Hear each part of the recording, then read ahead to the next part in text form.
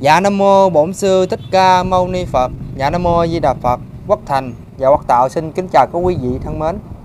Thì à, nhân dịp hôm nay thì cũng là mùng 3 Tết à, nhâm dần. Thì à, năm Tân Sửu vừa qua thì Quốc Thành đã Quốc và Quốc Tạo đã làm những chuyện thiện nguyện vừa xong. Thì à, nhính ra thời gian rảnh để à, cùng với à, những cái à, những cái chú à, nói đạo để cùng nhau chia sẻ đang cho bà con tìm hiểu đang à, biết đang tu hành thêm. Thì hôm nay Quốc Thành xuống à, với ông Bảy. Là có biệt danh là chú Bảy Đồng. Thì à, Quốc Thành sẽ hỏi chú Bảy một số câu hỏi mà dân cư mạng vẫn thường hay hỏi Quốc Thành. À, dạ thưa chú Bảy thì à, Quốc Thành được biết vừa qua là cái mùa dịch rất là khủng khiếp. Đối với à, tất cả anh em và các tất cả xã hội vừa qua thì mà những mà Quốc Thành có biết đó là một số anh em là tu hành rất là tinh tinh tấn nhưng mà vẫn bị ôn dịch hoành hành cho đến chết. Thì kính thưa chú Bảy thì tại sao lại như vậy chú Bảy? Xin ờ, chú Bảy hãy ờ, giải đáp cho anh em và Quốc Thành và Quốc Tạo cùng biết Nam Mô Di Đà Phật Nam mô Bổn Sư Thích Ca Mâu Ni Phật. Nam mô A Di Đà Phật. Lễ kính Đức Thầy. Lễ kính quan thượng đẳng đại thần, chư quan cựu thần, chư vị sơn thần, chư vị năm non bãi núi. Cảm ứng chứng minh.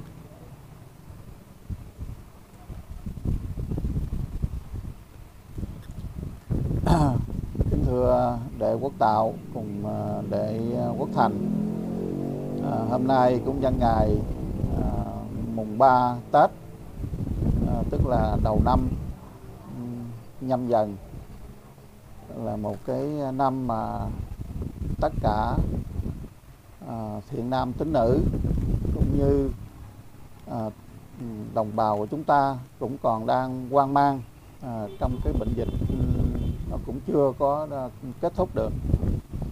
Thì ờ, vừa qua thì đồng đạo lại hỏi à, một cái ý này tôi nghĩ rằng rất là hay. À, bởi vì có nhiều người người ta lầm tưởng rằng cái người tu đó ừ, là không phải đau cũng không phải à, chết chóc. Thì đây là một cái sự hiểu lầm rất là lớn. À, bởi tại sao vậy? À, bởi vì mình tu hành đó là để tạo cái phước duyên tạo cái nhân lành để sau này chúng ta hưởng được những cái ờ, quả phúc tốt. Vì đức thầy cho biết đó là trồng cây lành dị quả thơm tho tuy không thấy mà sao chẳng mất. À, kính thưa quý vị ở đây đó không có nghĩa là chúng ta trồng cây lành rồi chúng ta không bệnh không chết. Thì ờ, cái bệnh này đức thầy nói là bệnh chí tử đó từ kim chí cổ sanh với già hai chữ hoài hoài. À, vì thế cho nên đức thích ca đó xưa ở lầu đài nghiệm tứ khổ nên ngài tầm đạo. À, đức thầy cho biết rằng những cái sanh cái bệnh cái lão cái tử được đặt lên cuộc đời của người này rồi đến người khác rồi đến người khác nữa. Nghĩa là tất cả cả nhân loại không thiếu sót một ai tức là giàu người tu hay là người không tu đều phải chịu chung vào vào cái cái, định lực thiên nhiên.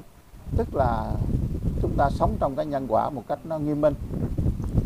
À, kính thưa toàn thể quý vị à, chúng ta cứ nghĩ rằng cái hiện kiếp này chúng ta tu hay là chúng ta mà, mà chưa tu mà không có nghĩ đến cái cái thời mà, mà quá khứ. Có nhiều khi kiếp này đó mình chưa tu chưa phát tâm tu.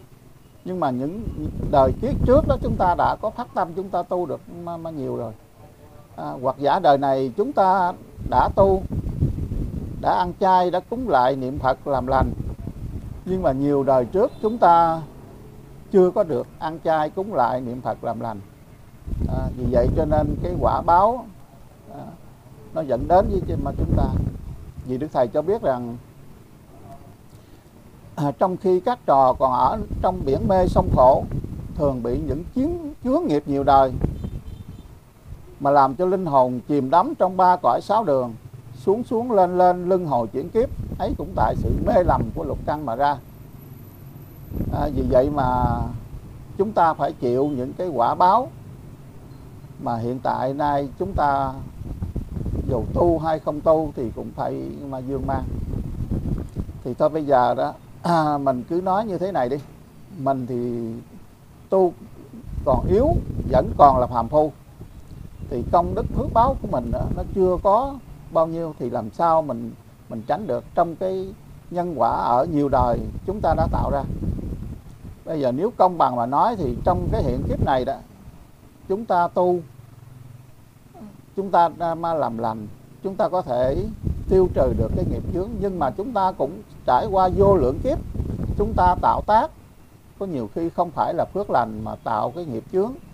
Đó, ở trong cái um, mười 10 10 cái cái cái việc ác gọi là thập ác. Vì vậy mà đời này chúng ta phải ma ma ương lị dầu cho tu hay không tu gì cũng đau. À, chính tôi cũng nhận thấy y như vậy à, lúc đầu thì tôi cũng nghĩ rằng chắc có lẽ là cái người tu hành chân chánh thì không phải mà đau bệnh bởi vì chúng ta cũng nương nơi cái quay lực của đức phật đức thầy cùng chư vị thánh thần. À, để chúng ta có thể vượt qua những cái cơn mà bạo bệnh như là cái bệnh dịch vừa qua. Nhưng mà rồi chúng ta nghe lại thì cũng thấy một số đồng đạo chúng ta cũng ăn chay trường cũng có cúng lại niệm phật làm lành. Thế mà rồi cũng đau. À, kẻ thì đau ít người đau nhiều. Có kẻ thì không qua khỏi những cái cơn bạo bệnh nữa. À, vì vậy cho nên mới thấy rằng đức thầy à, dạy chúng ta nó quá là là tường tận. À, thậm chí nơi đức thầy kính yêu của chúng ta là một vị cổ phật. Nhưng mà khi mà lâm phàm thì cũng phải thọ cái thân tứ đại. Do đất nước, gió lửa tạo thành cái thân. Mà khi mà à, cái thân này do tứ đại tạo thành, thì sớm muộn gì nó cũng phải bị tan rã. Đó.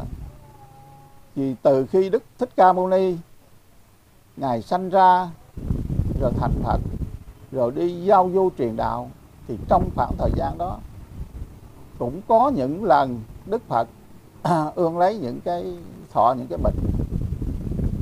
Đó. thì cái bệnh đó đó không phải là do nhân duyên tự nhiên hay là mà nó có những cái cái tích lũy nghiệp ở nhiều đời nó còn tồn động lại. Cho nên không thể nào mà thoát qua được. Là cho nên đức thích ca trước khi mà ngài nhập niết bàn thì cũng thọ một cái bệnh kiết lỵ rồi mới mới bỏ xác ngài nhập niết bàn. kính thưa quý vị. À, rồi nói đến cái thần lực của đức phật thì ai cũng tin tưởng rằng đức phật có một cái quyền năng rất là, là lớn lao thần thông mong hòa quảng đại hiểu biết sâu xa. Thế mà không phải cái nào thì ngài cũng cứu được cái nào ngài cũng độ được. Bởi vì cái lực nhân quả rất là nghiêm minh. À, chúng tôi nói một vài cái thí dụ cũng như trong cái lúc mà à, vua Lưu Ly à, con của vua Ba Tư Nặc đem quân qua à, xâm lăng đánh chiếm mà, mà thành ca tỳ la vệ. Thì bắt hết cả dòng họ mà mà thích ca à, lúc bấy giờ đó là đem để mà giết hết. Bởi vì do một cái ân quán à, trong cuộc đời à, của vua à, à vua lưu ly à, vì, vì vậy đó mà Đức Phật cũng không có che chở được cũng không có cứu độ được. Mặc dầu đó là thân bằng quyến thuộc của à, của Đức Phật. À, rồi ngài xá à, ngài à, một Kiền Liên nó có thần thông quảng đại bậc nhất ở trong cái hàng đại đệ tử của Đức Phật. À, ngài cũng muốn tìm cách để mà cứu độ mấy trăm cái cái à, sinh mạng của mà, mà dòng họ thích ca nhưng mà rồi rốt cùng thì cũng không có có cứu độ được. Như vậy cho chúng ta thấy rằng là đã là tạo nhân rồi thì không thể tránh được cái cái, cái quả báo. Vì thế mà hôm nay chúng ta mới tu. À, chứ nếu mà chúng ta tạo nhân mà không có quả báo thì chúng ta cũng khó mà tu hành lắm. Vì vậy cho nên hễ là tạo nhân mà rồi thì sẽ thành cái cái cái quả báo. Nhưng mà cái quả báo này đó nó có nặng có nhẹ à, có à, mà giảm có tăng. À, rồi nói cái hiện tại trong cái đời sống của Đức Quỳnh Giáo Chủ tức là Đức Thầy kính yêu của, chúng ta đó thì à, quý vị biết rằng khi mà ngài chưa ra đời mở đạo thì ngài đã đau bệnh liên miên rồi thì trong cái cái lịch sử của à, đức thầy thì quý vị chắc có lẽ cũng hiểu. Ngài đau à, truyền miên à, đức ông phải đi à, trị bệnh ở nơi này nơi nơi khác. Kể cả đi lên tới là núi trà sư à, tìm ông đạo som để mà trị bệnh nhưng mà trị cũng không hết. À, rồi lần lượt khi mà đức thầy ra đời mở đạo thì ngài cũng có nhiều những cái lúc phải ốm đau. Ừ, bằng cách là đức thầy đau đó ông ờ, bác sĩ cao triều lợi có tặng thuốc tây cho đức thầy mà không lấy tiền. À, cho nên đức thầy có viết một cái bài thơ là gửi bác sĩ cao triều lợi để cảm ơn bác sĩ. À, thì chứng tỏ cho chúng ta thấy rằng đó ai rồi cũng đau à, chúng ta đau đó thì do cái nghiệp lực mà đau. Còn đức thầy có nhiều khi đó là do gánh chịu những cái nghiệp lực của chúng sanh mà đức thầy đau vân vân đó. cho nên cái bài mà cho cô hai gương đó, đức thầy xác định rằng dí thầy xác thể phải còn đau. Hà huống chi con tránh được nào, quả dữ trả rồi, nhân thiện đến. Nếu thầy đắc đạo, bỏ con sao? Thì uh, những cái uh, lời dạy trên đây đó cho chúng ta thấy rằng đức thầy mà còn đau thì mình tu như thế nào để vượt qua cái sự mà, mà đau bệnh được. À, tuy nhiên chúng ta phải tin tưởng rằng cái người tới số thì mới mới chết. À, cái người có duyên nghiệp à, thì à, à, nghiệp lực nặng thì mới bị đau. Cho nên đức thầy khẳng định rằng những tai biến xảy ra đều do căn tiền báo quả hậu. Những tai biến thì nó có rất nhiều những cái cái sự việc nó xảy ra. Những tai biến như là à, cảnh nghèo khổ đói rách buồn đau hay hoặc là bệnh hoạn chết chóc vân vân. À, nó, nó đến với cuộc đời của chúng ta mà chúng ta không vừa lòng không bằng ý. À, muốn cũng không được không cũng mà không được. À, đó gọi là những tai biến nó xảy ra nó đều do căn tiền báo quả hậu đều tức là không có cái gì mà nó sai khác hết.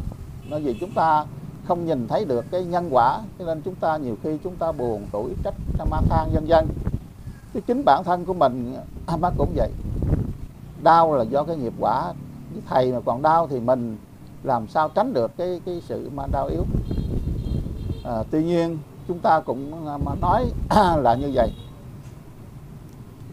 Cái nhân quả đó theo giáo lý của nhà Phật và Đức Thầy đó nó không phải là tuyệt đối cố định à, để cho chúng ta tạo ra một cái mang nghiệp gì đó thì chúng ta phải ương lị nó một cách như là à, không có mà mà ta thay đổi được.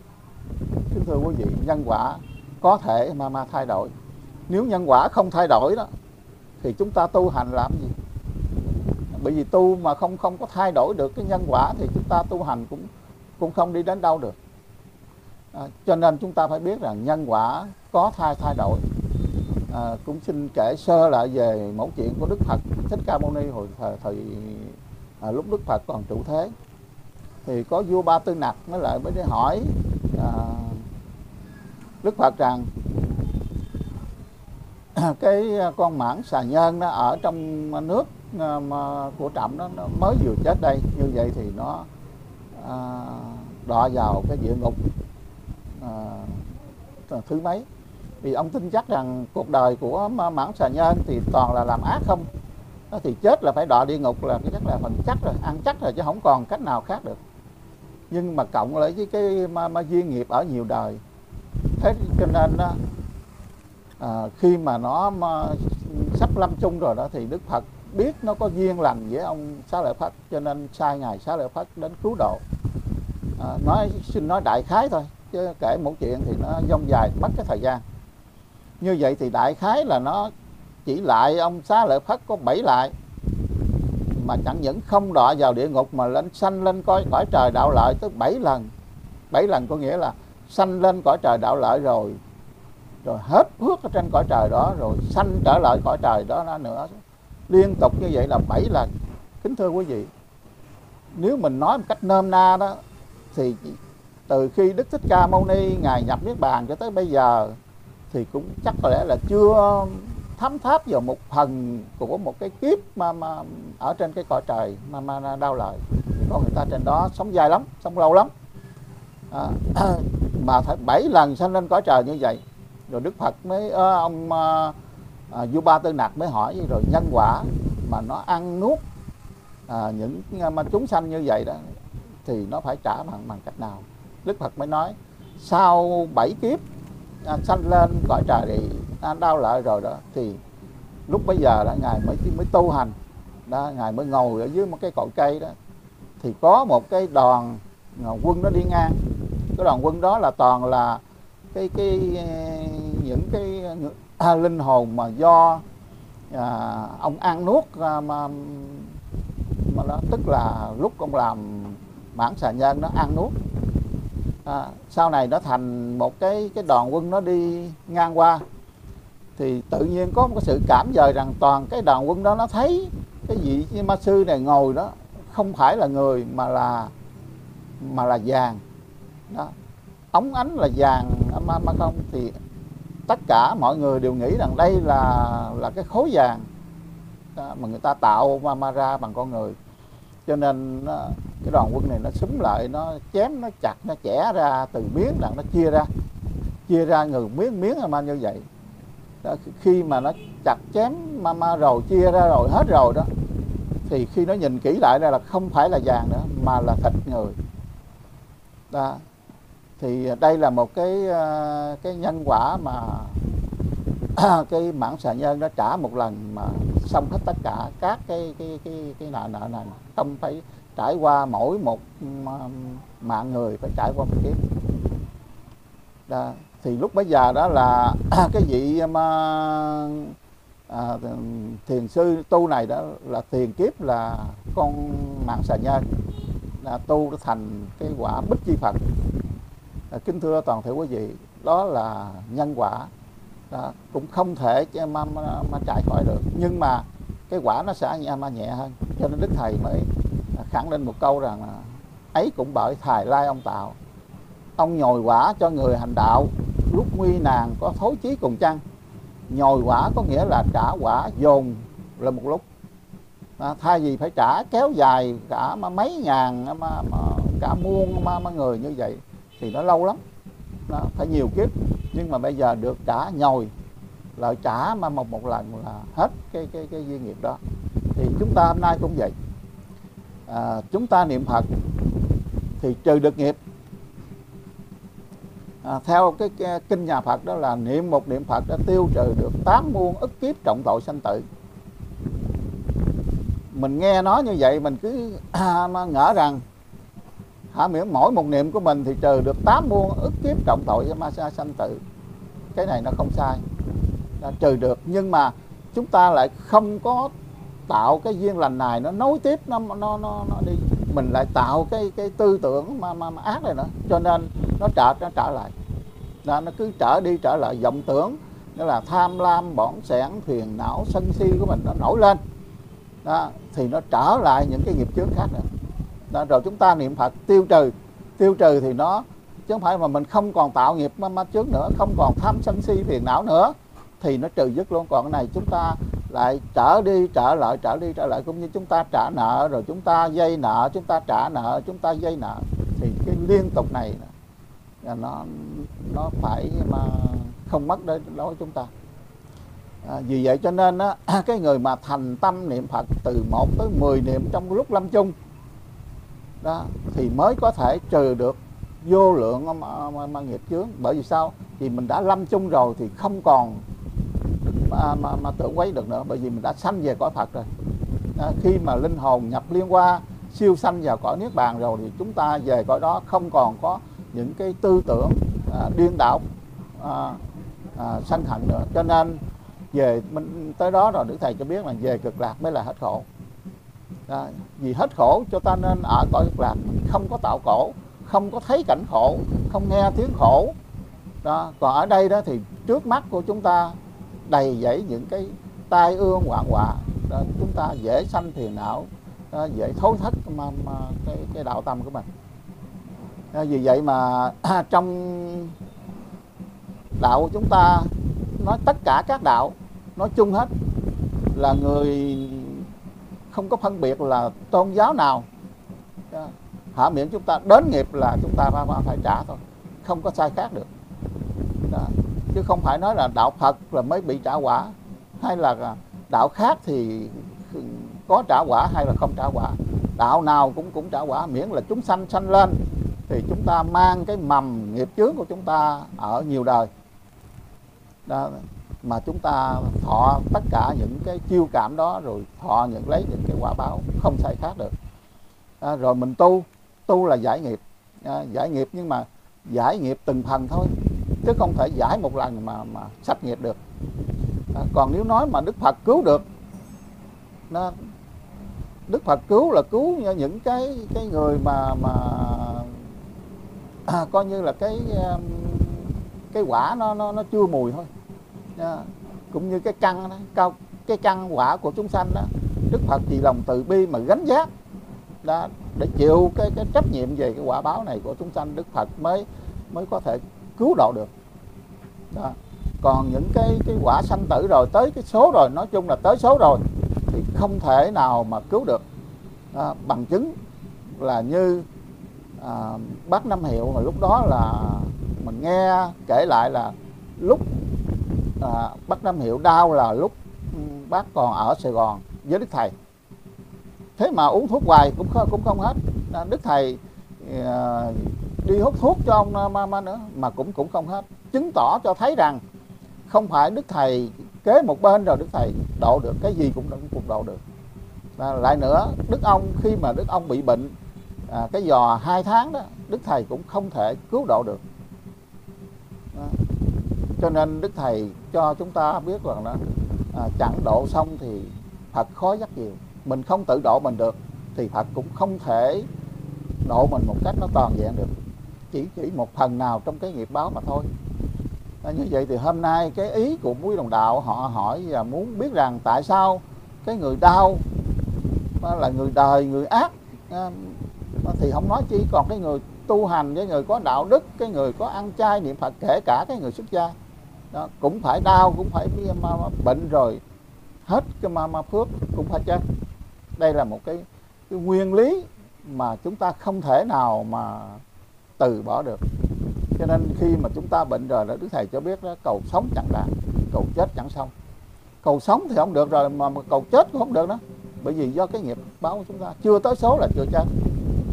Nha, vì lẽ cho nên nó cũng có một số cái người đời người ta cũng thọ bệnh bệnh dịch cái cái thời vừa qua đó rồi người ta có nhiều người chết đi rồi cũng có rất nhiều người thọ bệnh rồi người ta cũng được nghĩa là qua qua khỏi. Đó, rồi có rất nhiều người người ta nghĩa là cũng chưa có tu hành gì mà người ta cũng không có bệnh. Suốt cả cái mùa dịch ta cũng không bệnh gì hết. Đó là cái duyên nghiệp của người ta cái nghiệp lực người ta nó chưa tới. Chưa tới chứ không có nghĩa là không bệnh. Đó bởi vì cái cái lúc đó là cái nghiệp lực nó nó, nó, nó chưa tới. Còn cái người đạo cũng vậy tại sao mà mình tu hành mình ăn chay cúng lại niệm phật làm lành ai thấy cũng là, ngưỡng mộ. Thế mà rồi bị bệnh rồi có nhiều người phải chết đi. À, rồi mình nhiều khi đó mình mất cái niềm tin mình cứ nghĩ rằng ô đau mà, mà, mà thì thì mà cũng vẫn đau. À, tu cũng đau mà không tu có mà cũng đau. Như vậy thì tu nó có ích lợi gì? À, cái này đó chúng ta hiểu lầm rồi chúng ta mất cái niềm tin. À, có nhiều khi đó mình mình buông bỏ Phật pháp, mình không có ờ, đặt chọn cái niềm tin nữa, thì đây là do một cái lỗi ở nơi mình chứ không phải lỗi ở nơi mà mà Đức Phật. Bởi vì đạo Phật đó là đạo từ bi bác ái, dĩ đức háo sanh, khoan hồng đại độ. Tuy tình thế có đổi thay, cái tấm lòng nhân chẳng đổi, cái lòng từ bi cứu giấc chúng sanh thì luôn luôn lúc nào cũng có. Nhưng mà khi mình đủ cái nhân duyên, đó, mình đủ cái điều kiện, thì đức phật, đức thầy cùng chư vị thánh thần mới có thể gia hộ cho mà, mình chúng ta. À, cho nên đức thầy có viết một đoạn cũng ở trong cái bài gì? Cho ma cô hai gương. Đức thầy nói đường xá xa xôi thầy nguyện cầu. Thật thần ban rải huệ linh màu cho thân con trẻ an đâu chút chứ dễ nào thầy quên trẻ đâu. Đức thầy không có quên nhưng mà đức thầy cũng cũng nguyện cầu à, cho cô hai gương nhưng mà cho thân con trẻ an đâu chút thôi chứ không phải mà mà cái nghiệp quá nặng cái nghiệp nữa là là quá khổ rồi. Đức phật che tay ra đức thầy che tay ra mà, mà cứu chứ không không hẳn như vậy. À, vì thế mà đồng đạo chúng ta nên tin tưởng rằng do chính mình tạo ra nghiệp lực thì chính mình phải tham thọ lấy có nhiều khi mình nói mình tu tu chứ mình tu cái bề ngoài mà cái bề trong mình nó nó nó, nó, nó chưa có tu được. Đó, mà chưa tu được tức là còn có cửa à, trống để cho nghiệp báo nó nó, nó chen vào. Cũng như đức thầy nói niệm chữ di đà tan chứng nghiệp thiền từ thầy rước lại non bồng. Mình niệm à, phật đó niệm danh hiệu đức phật thì chỉ tan chứng nghiệp đó thôi chứ không phải là diệt chứ chướng nghiệp được không phải là hết chướng nghiệp được mà nó chỉ tan cái tạm thời đó thôi. Cũng giống thí dụ như bây giờ một cái à, đám bèo đó mà mình dùng một cái là à, cục đá rất lớn thảy mà mà xuống cái ao bèo. Đó, thì vì cái cái cái sức mà, mà, mà tức nước mạnh quá làm cho tất cả cái bèo đó nó tan ra mà. Đó nhưng mà tạm thời thôi. À, rồi nếu không có những cái cục đá tiếp theo thảy xuống thì từ từ bèo nó sẽ mà mà tụ lại nó che lấp lại. Cái vô minh của chúng ta cũng vậy nghiệp chướng của chúng ta mà, mà cũng vậy. Nếu mình niệm phật liên tục liên tục liên tục đó thì tất cả nghiệp chướng đều tan ra dần dần rồi mất đi.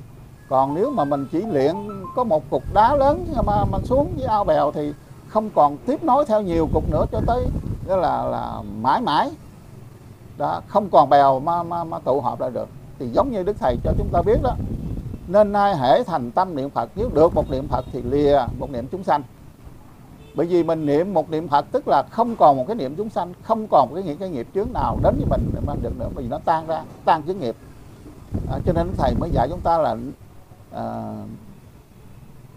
nếu chúng ta tiếp à, tục niệm phật thì à, niệm một niệm chúng sanh và niệm niệm phật thì lìa tất cả niệm chúng sanh. Cho đến khi nhất tâm bất loạn chừng ấy vọng niệm chúng sanh đã dứt thì lòng ham muốn và các tình dục còn đâu mà nảy sanh ra được. Vọng niệm chúng sanh giống như là bèo vậy à, chúng ta niệm phật thì chân thành hết lòng thì nó tan ra. À, mà chúng ta bỏ qua thì từ từ nó bèo nó sẽ ma ma tụ lại. Nghiệp chướng của chúng ta không vậy chúng ta niệm phật mà à, chưa có thành tựu được mà chúng ta dội quên đi dội lãng đi à, thì nghiệp chướng nơi đó nó tùng theo nó, nó xâm nhập vào. À, vì vậy cho nên đó, chúng ta phải ráng mà tu hành làm sao à, để tránh đi được cái nghiệp chướng à, thì rất là, là, là khó khó khăn. À, bởi vì khi mà chúng ta vọng tưởng rồi đó thì nghiệp chướng nó sẽ mà trả lại. Mà trên đời này thử hỏi có đồng đạo nào tu mà không còn nghiệp chướng nữa không còn mà mà vọng tưởng không? Không còn có cái vọng niệm chúng sanh không nữa không? Chắc có lẽ là khó lắm. Đó, cho nên chúng ta phải yên tâm rằng chúng ta tiếp tục tu hành.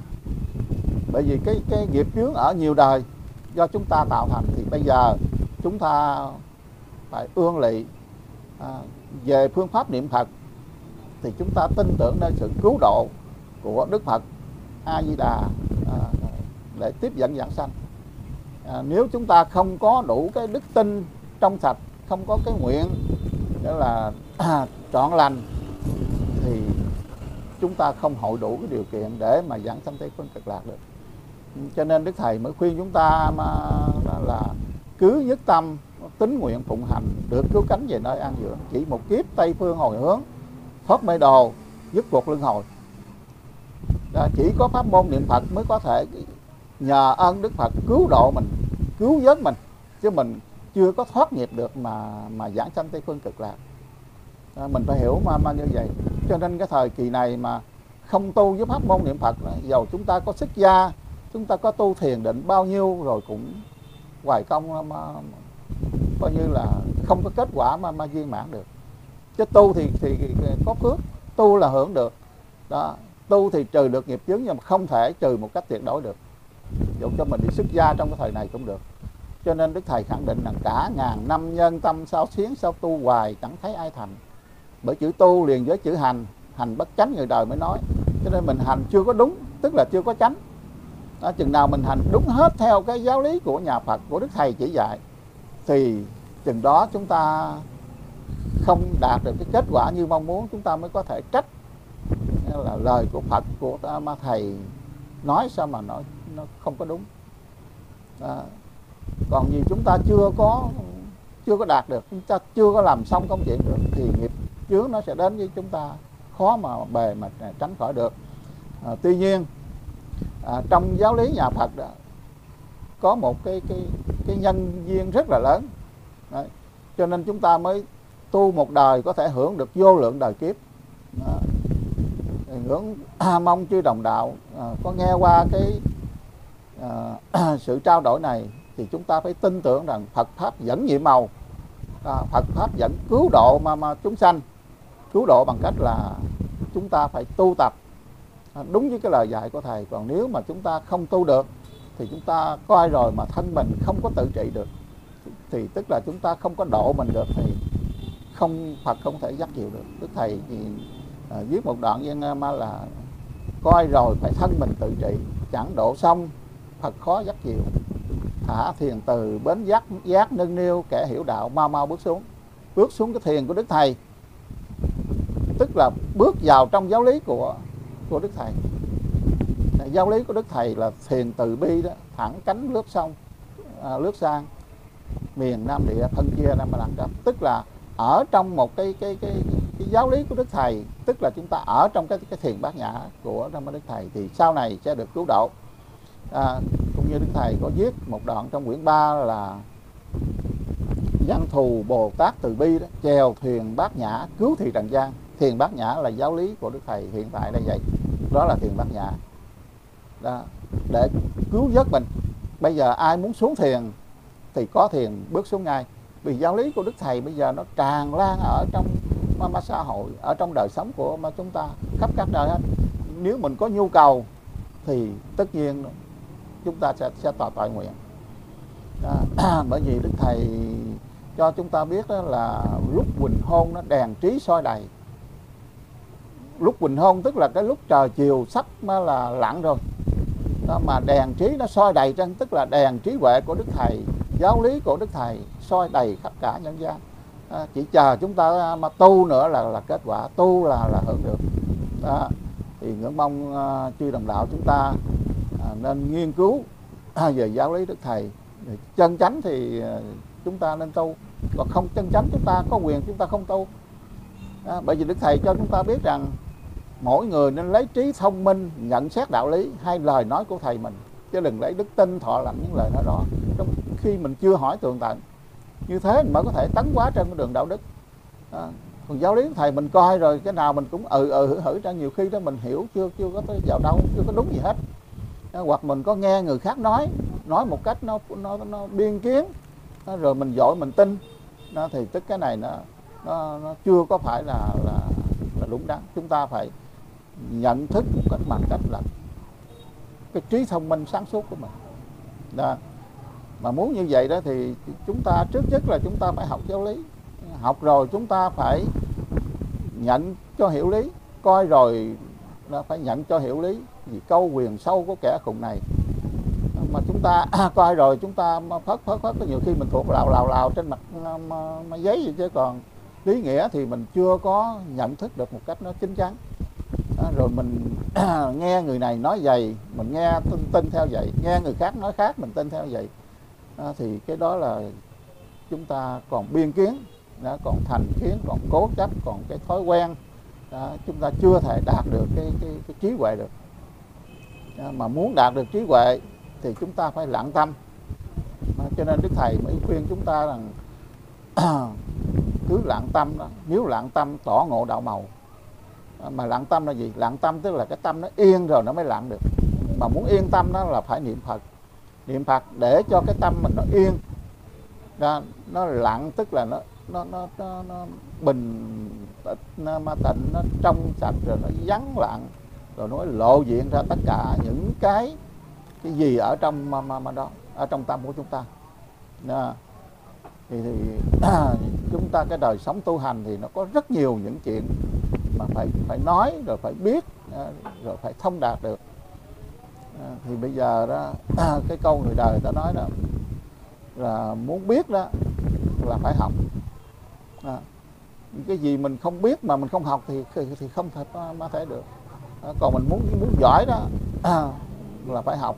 Và rồi mới mới giỏi để mà mà được. Ừ. muốn giỏi thì, thì mà chúng ta mà, mà phải phải học. À, chứ còn mình mà không không biết mình làm nó sai. À, kính thưa quý vị à, bây giờ đó mình nói mà mà đây đó để chứng tỏ cho đồng đạo chúng ta thấy rằng mình tu còn có những cái nó nó, nó mù mờ nó nó nó, nó sai trật chứ lắm. Bây giờ mặc dầu chúng ta có giáo lý của đức thầy ở trong nhà à, mà chúng ta ít có đem ra nghiên cứu tìm hiểu xem xét nhận thức được cho nên chúng ta hành nó không có đúng. À, kể cả cái hai cái thời cúng của chúng ta sớm chiều thôi mà chúng ta làm cũng còn chưa có đúng theo lời dạy của đức thầy. Rất là dễ. Rất là dễ nhưng mà mình làm theo còn còn chưa có đúng. À, quý vị vô chùa quý vị thấy coi. Kẻ thì lại như thế này người lại như thế khác. Người xá như thế này người xá như thế khác. Người chấp tay như thế này người chấp tay như như thế khác. Nó nó sai biệt ma ma lẫn nhau. À, có nhiều khi đó à, mình lại trước bàn thờ của quyền mà cũng xá đến giữa rồi xá hai bên đó mà không phải ít người làm như vậy thì chứng tỏ chúng ta có tu à, có mộ đạo à, có kính trọng mà, mà sự tu hành. Nhưng mà mình làm chưa có đúng. À, bởi vì bàn thờ của quyền mà mình xá hai bên đó là nó không phù hợp. Dân dân.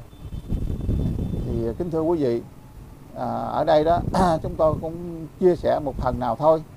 À, nếu có cái dịp khác thì mình sẽ chia sẻ mà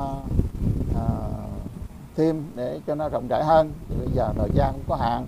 Thì à, trước thềm năm mới chúng tôi cũng xin à, thành tâm kính chúc toàn thể chư quý vị đồng đạo gần xa thân tâm an lạc à, sức khỏe dồi dào tinh tấn tu hành cho đến ngày viên thành đạo quả. Và cũng thành tâm cung kính nguyện cầu ơn trên hồng ân tam bảo quay lên đức phật đức thầy cùng chư vị thánh thần từ bi phổ độ cho gia đình của toàn thể đồng đạo chúng ta, cùng bá tánh dạng dân, tiêu tai tịnh sự, giải thoát mê ly, tật bệnh tiêu trừ, tai qua nạn khỏi nam mô đại từ đại bi phổ độ chúng sanh a di đà phật.